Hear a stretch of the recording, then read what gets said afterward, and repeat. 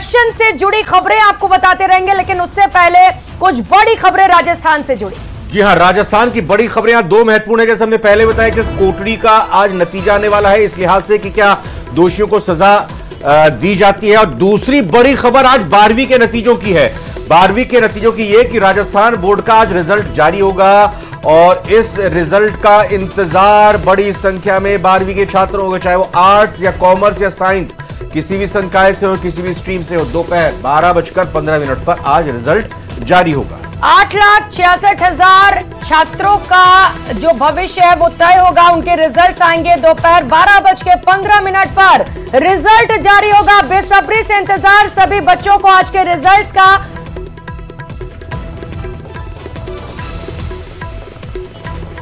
Rajasthan board result 2024 को लेकर बड़ा अपडेट सामने आया है। राजस्थान माध्यमिक शिक्षा बोर्ड, बारहवीं साइंस, कॉमर्स और आर्ट्स का रिज़ल्ट एक साथ 20 मई, यानी सोमवार को परीक्षा खत्म होने के 45 दिन बाद जारी किया जाएगा। माध्यमिक शिक्षा बोर्ड सभागार में दोपहर बारह बज के पंद्रह मिनट पर राजस्थान बोर्ड, बारहवीं रिज़ल्ट 2024 जारी किया जाएगा। बोर्ड प्रशासन ने रिज़ल्ट जारी करने की तैयारियाँ पूरी कर ली है। बता दें कि राजस्थान माध्यमिक शिक्षा बोर्ड की परीक्षाएँ 26 फरवरी से 4 अप्रैल तक आयोजित की गई थी। इन परीक्षाओं को लेकर कड़ी सुरक्षा के बीच रिज़ल्ट तैयार किया गया और अब सोमवार को 45 दिन बाद इसका परिणाम जारी होगा। बारहवीं के कला, वाणिज्य और विज्ञान वर्ग की इन परीक्षाओं में आठ लाख छियासठ हज़ार दो सौ सत्तर परीक्षार्थी पंजीकृत किए गए थे, जिनके भाग्य का फैसला सोमवार को जारी होगा। आपको बता दें कि ये पहला मौका होगा जब साइंस, कॉमर्स और आर्ट्स का रिज़ल्ट एक साथ जारी किया जा रहा है। 2023 की बात करें तो साइंस का रिज़ल्ट संतानवे दशमलव तीन नौ प्रतिशत रहा।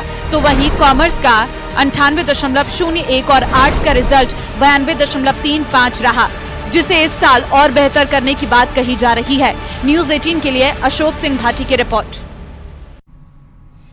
और फ़िलहाल एक छोटे से ब्रेक का वक्त हुआ है। राजस्थान की खबरें, देश की खबरें और चुनाव की खबरों के लिए आपको कहीं जाने की ज़रूरत नहीं है। महासंग्राम 2024 के अलावा राजस्थान की तमाम खबरों पर हमारी नज़र है। फ़िलहाल एक छोटे से ब्रेक का वक्त है।